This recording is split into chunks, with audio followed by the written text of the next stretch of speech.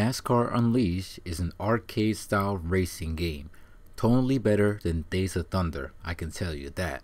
For anyone that's good at racing games, this game is a cakewalk, with the exception of It Still Counts trophy, which took me a while to do.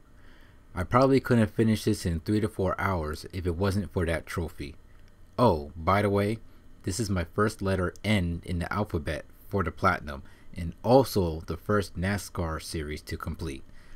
Championship mode only took me a few tries, but nothing serious except the final race where you had to be first place while the AIs have rubber banding and how aggressive they are slamming into you.